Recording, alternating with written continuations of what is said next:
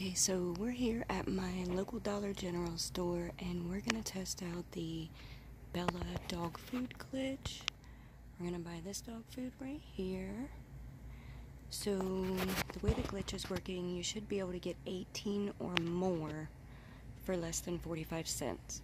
There is a $2 off, or no, there's a $1.50 off digital coupon as well as a $4 off digital coupon and you have to have both of these clipped in order for this to work.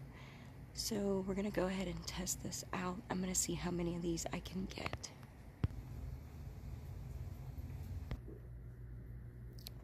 Okay, so I grabbed 20 of the containers of dog food.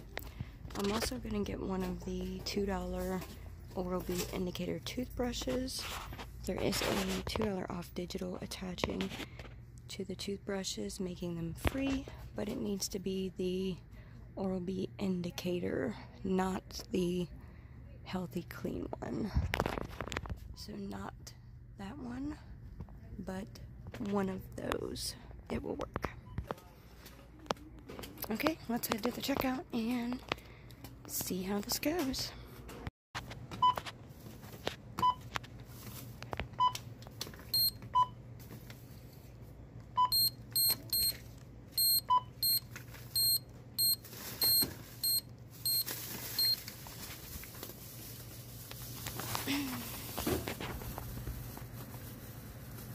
Maybe all the coupons did not come off.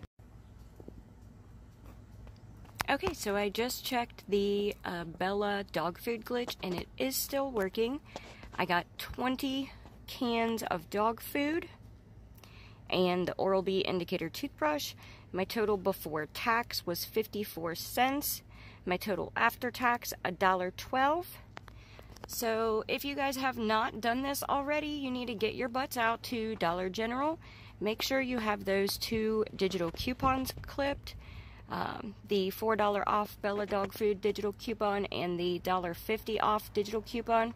Um, I have another account that actually has some more Bella coupons on it, but I haven't tried it. And I believe my store is now almost out of the dog food. They only had like three containers left. So, you guys really need to get out there and take advantage of this deal. It will not last long. Don't forget to hit that like button and don't forget to subscribe so you can be the first to find out about these amazing deals. Until my next video, I'll see you guys later.